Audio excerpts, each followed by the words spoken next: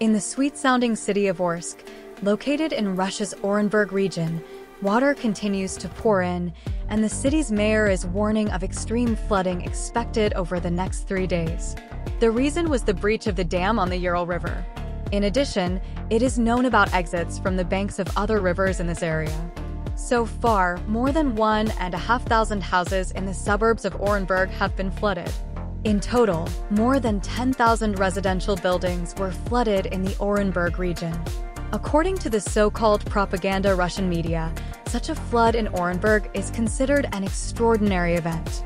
Like, comment, subscribe to the channel.